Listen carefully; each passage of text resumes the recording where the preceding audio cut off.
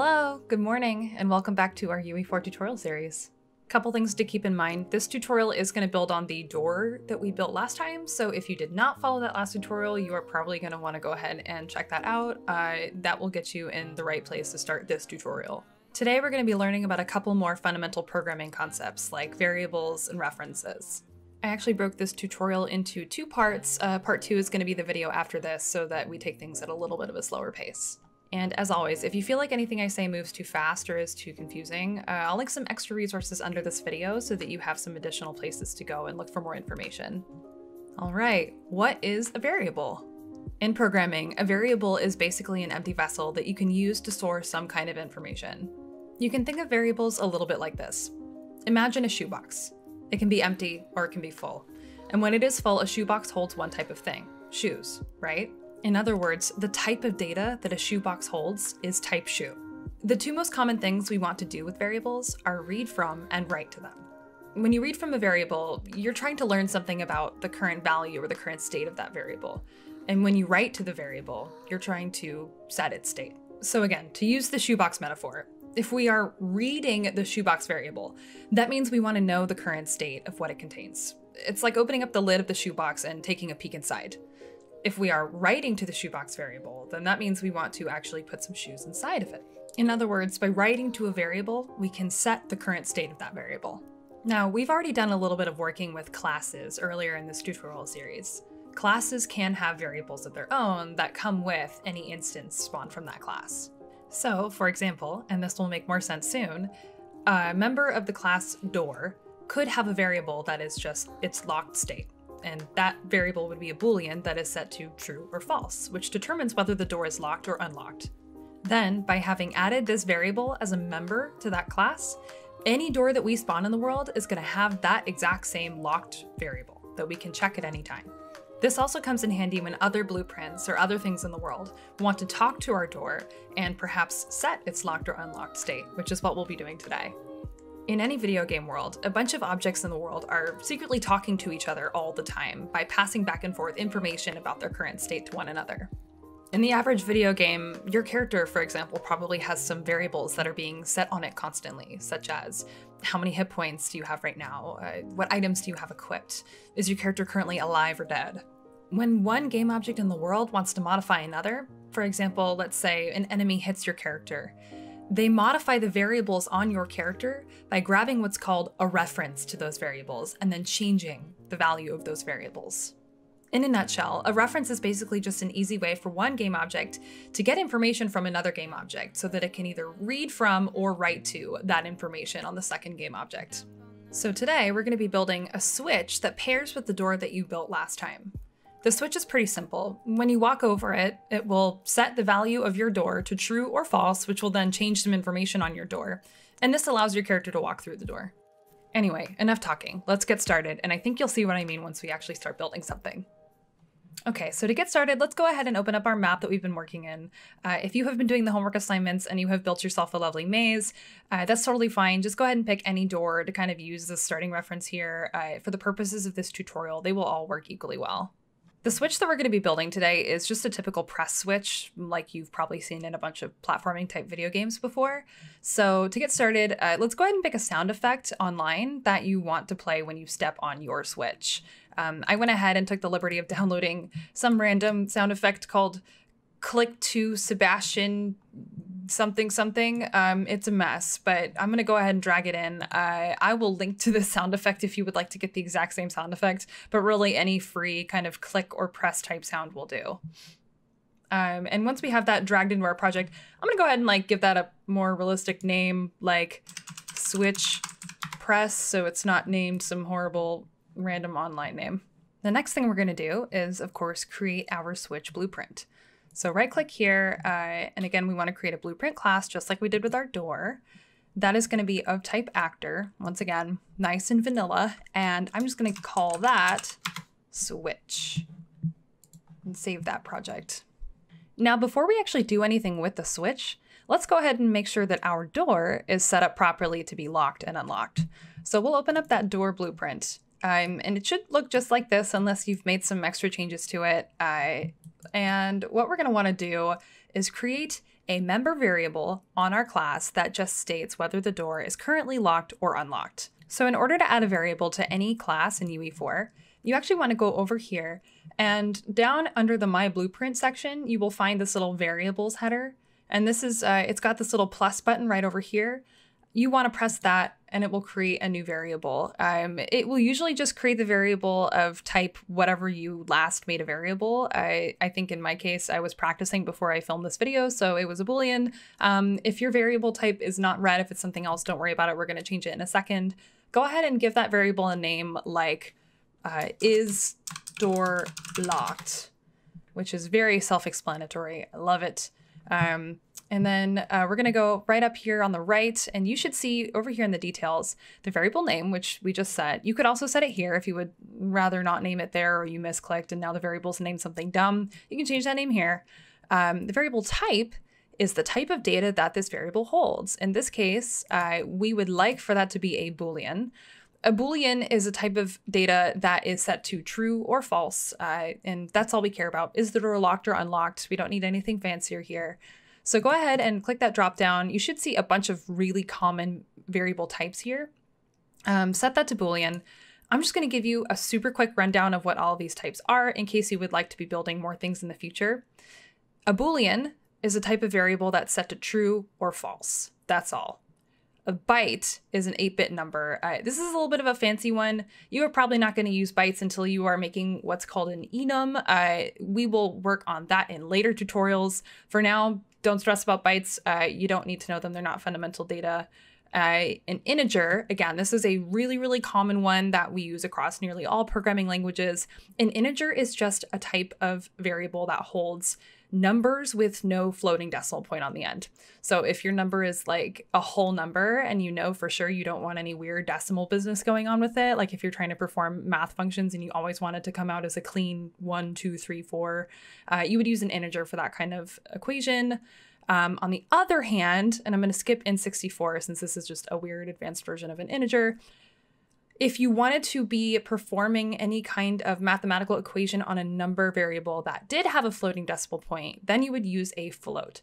So as you can see, when we were building our door before, um, we were using a float to do that equation because uh, as the door is translating through a bunch of its height, it is moving. It's if you were to use an integer, you would see it like jump to clean single number uh, like variables along its movement process. And we want that to be totally smooth. We want that calculation to be nice and even. So we're going to use a float just so like it always is mathing out to like a very clean, nice linear curve. Um, a name variable uh, in UE4, this is basically just a type of text operation. We will be going into the differences between names, strings, and text in the future uh, when we do some of our UI focused tutorials. So don't stress about this right now. Mostly what we want to be using um, these are at this point, for the most part, interchangeable for you. Uh, we will talk about the nuances of them later. A vector refers to a 3D position in the world. Uh, a vector can either be a point or it can be a line, depending on how you are using it. Very confusing, I know. Uh, if you took calculus, this will totally make sense to you. If you have never taken calculus, then it won't. But I think uh, you will probably learn by doing once we start to manipulate some vectors in the future. A rotator is some information about the rotational degree that a game object is currently rotated to.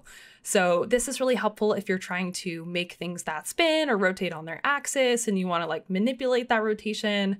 Like some games have a UI where you can like turn objects around like those hidden object adventure type games in 3D and you can like look at the object from all sides. You would be using rotators to perform that kind of equation pretty often. Uh, and then lastly, a transform variable is just a, a it's it's information about uh, this object's current vector and its current rotation packaged down into one. So transform is actually a very complex variable that is um, specific to game engines, and it just contains a bunch of like information that you would want to know about that object's 3D state all crunched down. So transforms are really helpful. We'll get into them later, but they're also an advanced type of variable that you may not see in other programming languages. They're kind of specific to game engines. The really nice thing about variables in UE4 is that UE4 does attempt to color code them for us so that we don't do anything dumb uh, trying to manipulate data in a way that UE4 doesn't like us to be manipulating it uh, or trying to use a variable for a type of thing that it can't actually be used for. So now that we have created our Boolean, um, we want to set this Boolean to be public so that other game objects can read the state of this variable. So here's something that's important about variables that other objects are trying to reference. Uh, a variable can have a variety of what we call privacy states or protection states on it um, to determine whether or not other objects can actually see and manipulate that variable's data. So some programming languages, uh, for example, have uh, the ability for you to like determine whether a variable is readable and writable, just readable, um, or not even readable or writable at all, in which case it's private. Uh, these states are usually known as public for can read and write, protected for can be read sometimes, and private cannot read, cannot write why would we want to do this? Well, uh, sometimes you want to build content in such a way that you know for a fact certain variables should never be getting touched by any other game object anywhere. However, when you are working on a large game project, you may have some idiot designer like Katie Chironis over here who does not know which variables are not supposed to be getting set and getted and may start trying to mess with those variables when she is working on a given object. And so what you can do as the engineer is lock down those variables so that nobody else can be accidentally reading or writing them, which might actually mess up that game object in some permanent way. Uh, and it's, it's just a really nice and clean way to generally write code. So often private variables are very useful when you're building more advanced projects. Today, we want this one to be public so that other game objects can read to and write to uh, this door locked variable. So in order to do that, privacy in UE4 is determined by, you see this little semicircle over here? Um, it's actually a closed eye you would never find that on your own. Don't worry about it. It's this is dumb. Um, I don't know why it's this hard to find. But the way that you can set whether a variable is public or private is by clicking the eye. If the eye is open, it doesn't even look like an eye. Whatever. Um, it's it's public if the eye is open. It's private if the eye is closed. In this case, we would like it to be public. So make sure that that eye is open. So now what we need to do is add a little bit of logic to this door that basically says, I am not going to open if I'm locked right now uh, and I am going to open if I'm unlocked. So in order to do that, we're going to add what is called a branch node. Branch nodes are really common in UE4, and they basically just check a Boolean and say, if the Boolean is true, do X. If the Boolean is false, do Y. Uh, so let's drag off from our pin here, and uh, we are going to type in branch, and that should pull up this node right here. So as you can see when you hover over it, it's got this little handy dandy white box here that says, if condition is true, execution goes to true, otherwise it goes to false. Great. Uh, we are now going to use the variable that we just made in practice. So go ahead and click and drag on that variable. And we are, this is where you would either be able to set your variable if you were trying to change the value of that variable, or you can get the variable if you would like to use the variable and read from its current state. In this case, we want to read from that variable because we are checking, hey, at the time that the player runs into this player trigger and we determine that they are actually a player, in other words, we would like to try and open the door. Is the door locked or is it unlocked? If it is locked, then do nothing. If it is unlocked, then open the door. So, is door locked? If is door locked is true, then the door is locked. So we should do nothing. Right click on this, and hit break. And this is how you can actually break. Uh, if you ever like connect a white node and you want to unhook it, you can right click on this little arrow and hit break link, and that will snap it off. Uh, so if the door is locked, then we would like to do nothing. Great, this is empty. If the door is not locked, if it's false, then that means that we can open the door. So let's go ahead and open that door. So now if we hit save and we go out, we never change. This is door locked variable starts false. So the door will be always unlocked by default. But let's go ahead and set the default starting value of that door to be locked. In other words, now all doors in our world will start locked by default because we have set the default value of this variable to be true. Now we also need to do the exact same thing on this close function as well if we want this to work appropriately. So let's go ahead and do the exact same thing.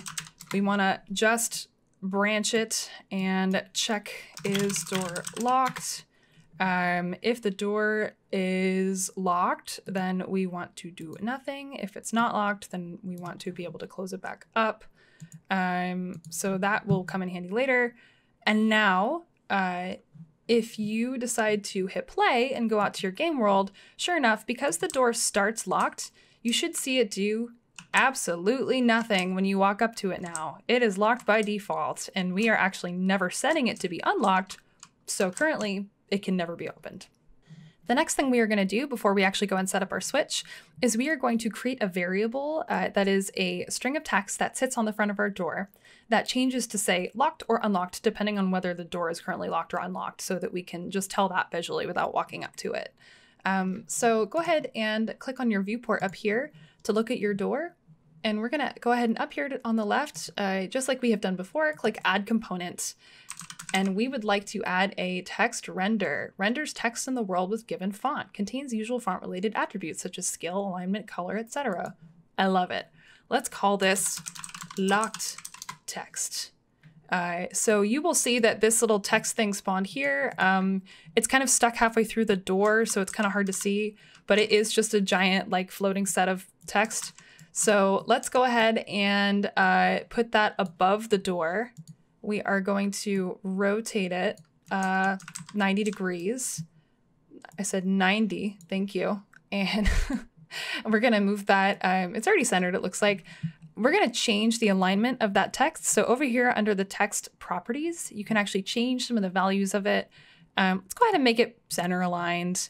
Uh, you can also change vertical alignment and we can change the color. This is sweet. I'm gonna make it like blue because why not?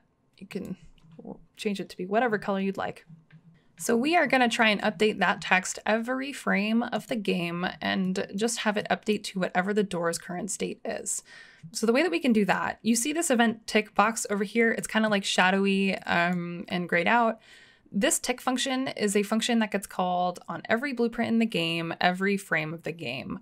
Um, so if you were building a giant game, like an open world game, um, you would never ever use this function. Your engineers would hate you and your life would suck uh, because performance would be terrible. But guess what? We're just building for funsies, so we don't care about that. Um, this event tick is going to get called constantly. So this is great for when you want to like update the visibility or the status of any, everything and you want it to be like super quick and responsive. Use tick for that kind of thing. What we are going to do is again, pull this off, type in branch, and you can see now this event turns on because now this event actually is going to be used. So it's going to be called. Uh, we are going to grab that is door locked variable again we are going to drag off a reference to this text. And then we are, if the door is locked, we are just going to drag off here, type in set text, uh, and we are just going to set the value of that text to be whatever we would like in the case that it's locked. So uh, now what we're going to do is make a literal variable, which basically means we are creating a hard-coded value for that variable. So drag off here and type in make, which means that we're just going to make a hard-coded value. And we would like that text to say locked. I mean, you could technically make it say whatever you like. I'm going to make it say locked. Um, your choice, dealer's choice. Uh, in the case that the door is not locked, on the other hand, let's go ahead and drag that off and we will change that text to say unlocked, which is super obvious and very clear. So now when we actually go ahead and hit play, we should see Aha! The door says locked. And guess what? Never says unlocked because we haven't set up anything to unlock it yet. So that's okay. Let's go ahead and make our switch now. All right, let's back out and let's go into our switch.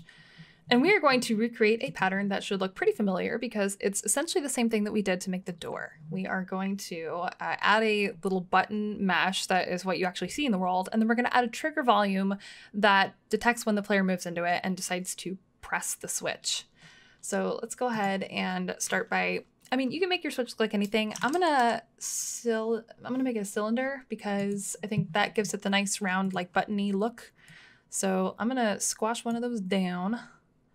And I'm actually like gonna even put one below it. Like I love that like really big Mario Party style button. So I'm actually going to make a second cylinder and like scale it up and you'll see what I'm doing here in, in a second. Um, I'm to make that material like a, a darker color.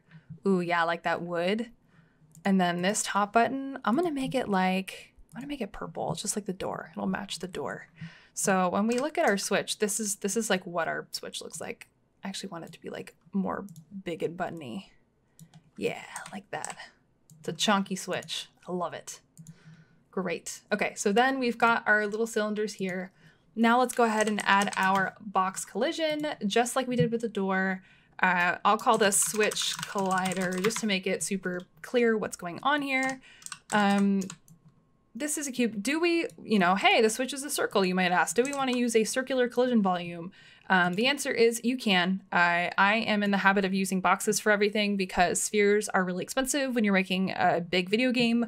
So often engineers would prefer that you use things with, with fewer faces on them, which is less calculation cost. It's just cheaper. Um, but you can also make this make this a sphere collider if you would like perfect accuracy on your switch. Um, but I think for now this is fine. I'm gonna go ahead and compile this and save that out. So now we want to bind to the overlap event of that collider, just like we did with the door again. So go ahead and down on the right here on component begin overlap. Love it. We are just gonna toggle that switch or that door on and off. Uh, so on component begin overlap. Well, when we overlap with the switch, we would like to set the corresponding door to be locked or unlocked. We would like to flip the boolean.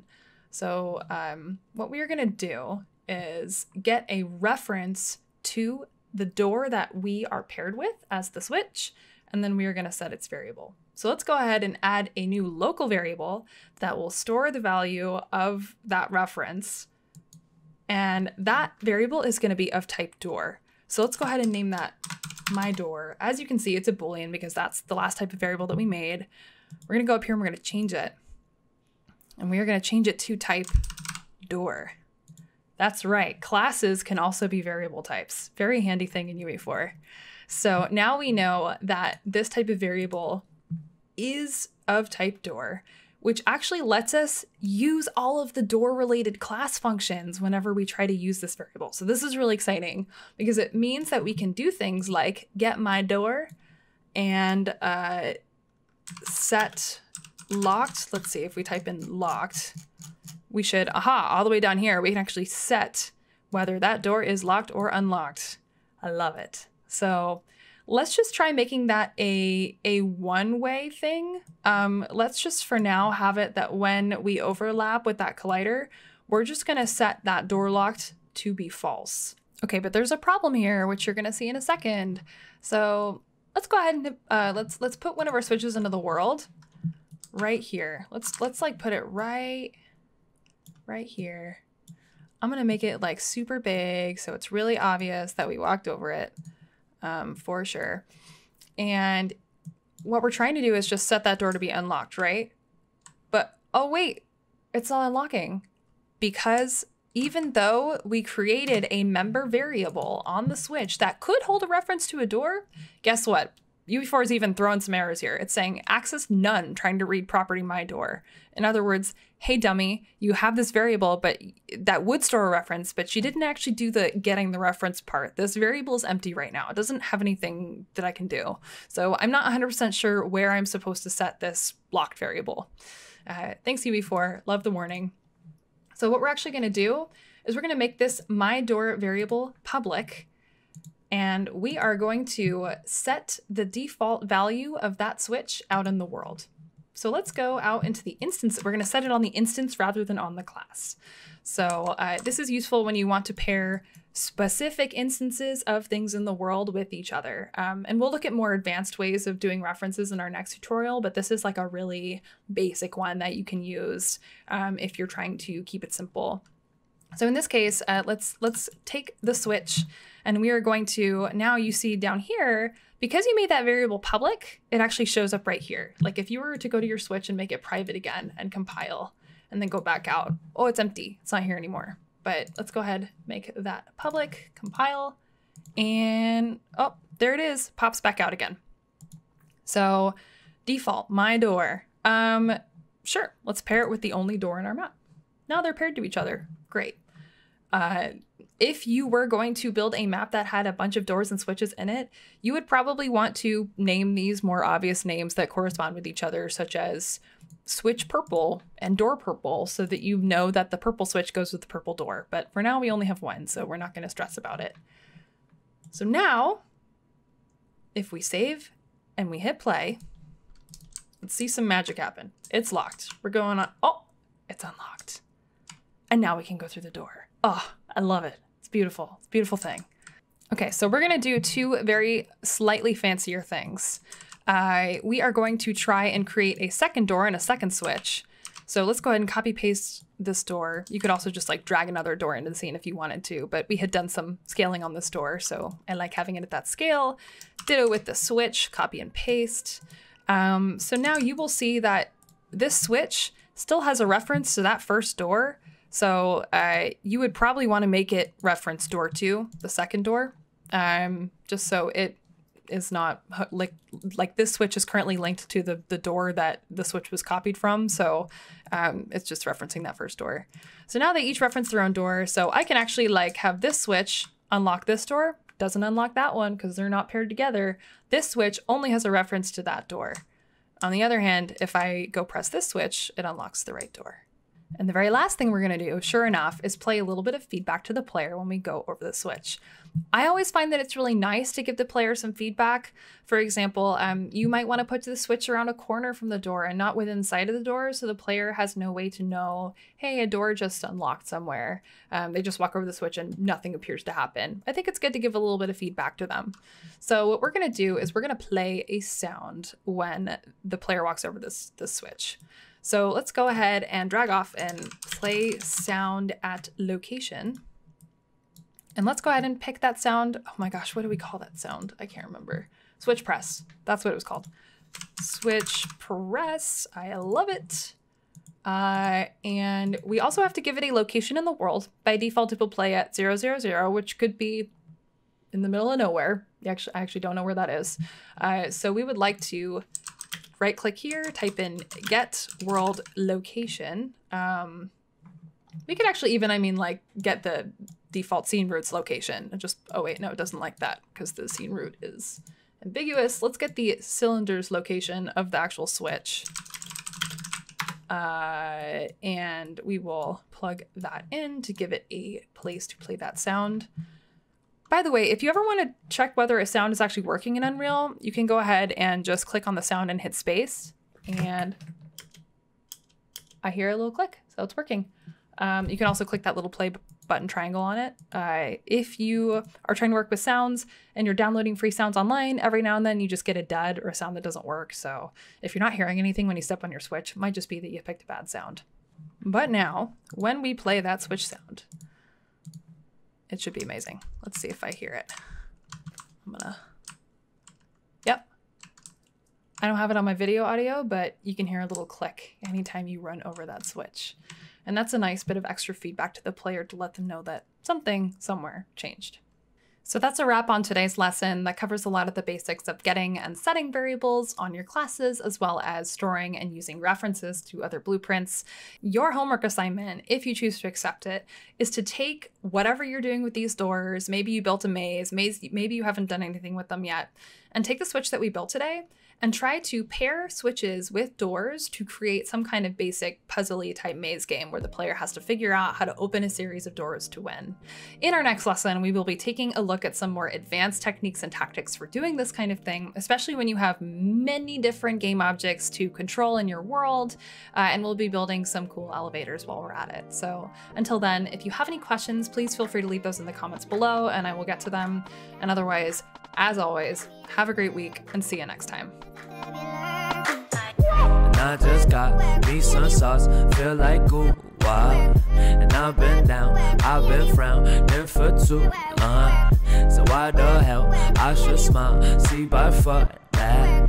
So why the hell I should smile, see